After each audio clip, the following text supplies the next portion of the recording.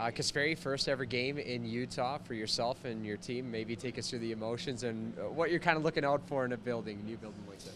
Yeah, I mean it's Friday night, and uh, you know hoping for uh, a pretty packed crowd and, and uh, just a good game. I think everybody's excited to be in a new city and, and kind of figure out what it's all about, and uh, hopefully we play well. As a player and a fan of the game, how excited are you to see a new franchise come into the league? Yeah, I mean I've been part of uh, three now, three new teams, so it's, it's always cool, and I think it's uh, the league's trending in uh, the right direction.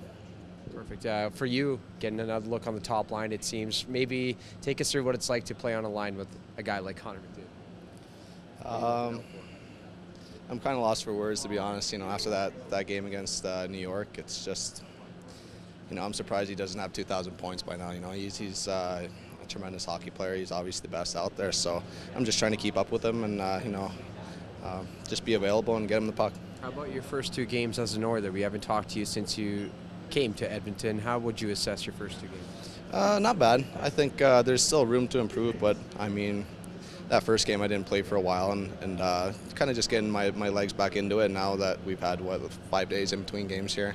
Uh, body feels good, so excited for tonight. Did those five days help you? Kind of help you recalibrate? Yeah, I think so, and just to kind of just settle in a bit more to the new city and all that. So uh, I'm ready to go. What kind of challenges does this team present for you?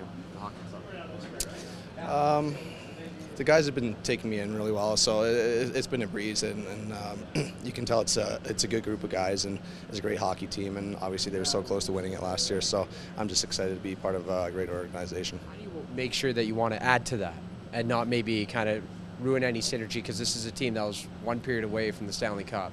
How do you make sure you add to that? I think I just try to play my own game and, and be myself and, and bring uh, you know my, my skating into into the, into the team and uh, maybe my physicality and, and, like I said, just try to get um, you know Connor the puck right now. He, he's obviously uh, an amazing player, so uh, just be myself and uh, hopefully that's enough. And your early takeaways from your head coach? He's great. He, he's, he's a good coach, and uh, I think we're a pretty old team. I think the oldest team in the league, so he, he knows what what we're doing right and uh, what we're doing wrong, and, and, we know it as players as well. So there's doesn't need to uh, say too much. So I think the guys uh, handle it pretty well.